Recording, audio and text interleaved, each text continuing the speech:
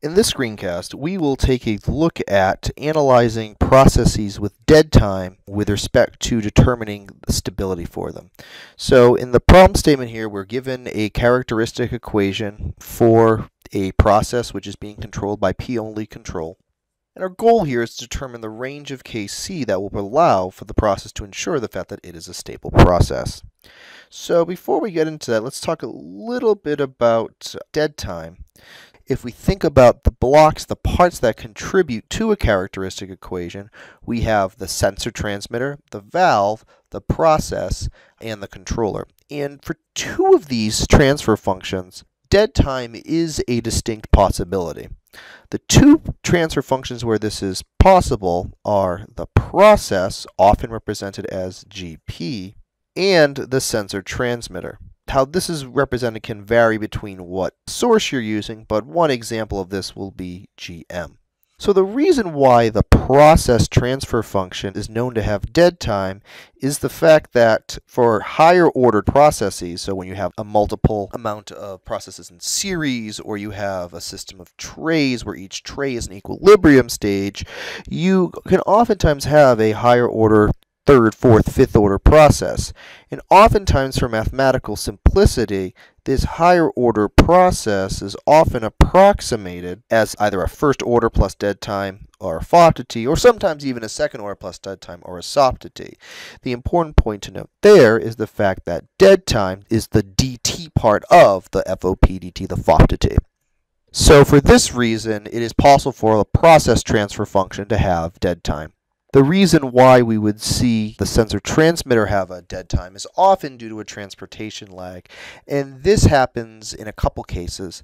The first case is the fact that your analysis is being done offline to measure your variable of interest. So for example, if you are using a gas chromatograph in order to measure a composition of some sort or some other analytical tool, it most likely is not necessarily in line. So therefore, it would take some time in order to get this measurement, which could be represented as some sort of dead time. The second is the fact that the device that you're using is a bit downstream. So for example, it is possible that to measure a flow rate or a temperature for safety reasons, for cost reasons, you may not necessarily be having that sensor transmitter inside your reactor, your tank, or whatnot, but it might actually be in piping which is coming from the exit of that reactor or other unit operation. So for these reasons, dead time is something which is a possibility to face when trying to look at a characteristic equation or trying to control a process. In the Laplace domain, Dead time is represented as e to the negative theta s, where theta represents the amount of the lag. So the problem that we can potentially have here is that when we're using the exponential, and this isn't necessarily just for stability analysis, this can also be in developing transfer functions, doing other analysis, is that the Laplace domain does not handle e to the x or negative x because in the Laplace domain, the Laplace transform is a linear operator, it does not handle something which is nonlinear, which we have in the case of an exponential. So to complete analysis, we need to use an approximation that has some linearity to it. So there are a number of different approximations that do exist. For the sake of this analysis, we're going to focus on the Pade approximation. And the Pade approximation has its roots in the Taylor series, which the Taylor series has been used to approximate the value of particular functions. And the approximation here is that e to the negative theta s, the definition of our dead time, can be approximated as 1 minus theta over 2s divided by 1 plus theta over 2s. So we can just substitute this into our equation and conduct analysis. So for this process, the characteristic equation provided was 5s plus 1 plus 3kc multiplied by e to the negative 2s equals 0. So we'll substitute in the Pade approximation. So here theta is 2, so we'll be left with 1 minus 2 over 2 times s. So That'll be 1 minus s over similar theta over 2 in the denominator, 1 plus s equals 0. We now need to find a least common denominator, which is 1 plus s. So we'll multiply the 5s plus 1 part by this 1 plus s, and then we'll be just left with 3kc times 1 minus s. This will all equal 0. We'll divide this by 1 plus s. When we move the 1 plus s to the right-hand side in the denominator, it'll go away.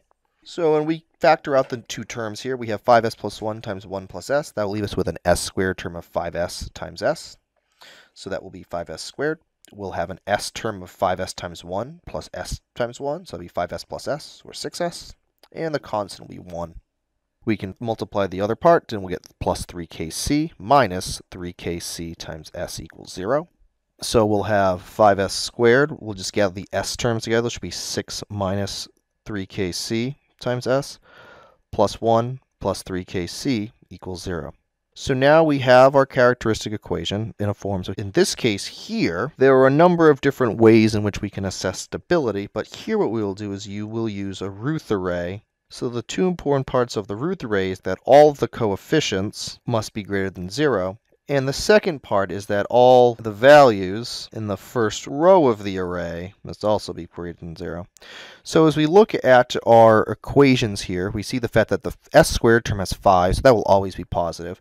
6 minus 3kc, this will only be positive when kc is less than 2, otherwise the negative 3kc term will dominate. And similarly for our constant term, this will only be positive when kc is greater than negative a third. So we already at least have some beginnings of a limit for our function here. What we now want to do is use the Routh array to see if there are some further modifications to this range, which right now is between negative one third and 2. So to do that, we'll bring up the Routh array and the relevant equations that we need for calculation. So here is the Routh array and the relevant equations. So here we'll start with filling in the values from our characteristic equation. So an will be 5. an minus 1 will be 6 minus 3kc. The reason why it's the case is we always start with the one with the highest power and work ourselves down. And our other term for the an minus 2 is 1 plus 3kc.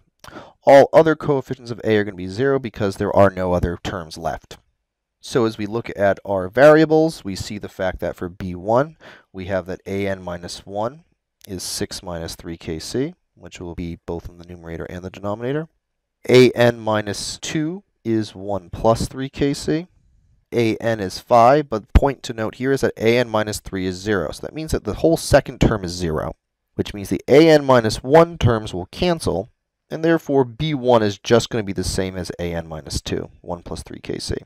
For B2, we note the fact that an minus 4 and an minus 5 are 0, so therefore B2 will be 0.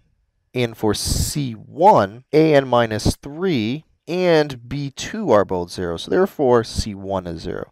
So thus, all the other terms here are 0. So therefore, the range of the coefficients is sufficient. So therefore, here, the process will be stable in the range when Kc is in between negative one-third and 2.